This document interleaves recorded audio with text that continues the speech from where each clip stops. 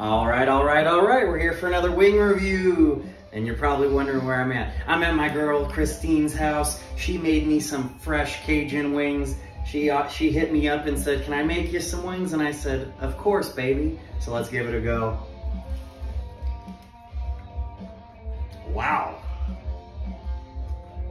The seasoning, you knocked it out the park. She's holding the camera right now, and I see her smiling back there. This is a great seasoning.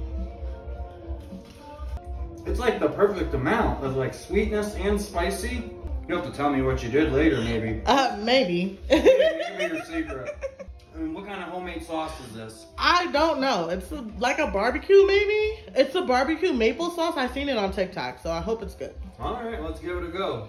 You know, I'm a judgment-free kind of guy. I'm a slut for the sauces.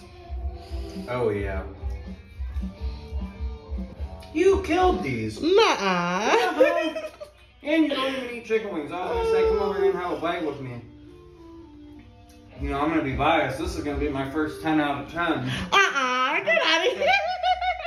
I just want to say it's been an awesome experience. oh, I'm glad you loved it.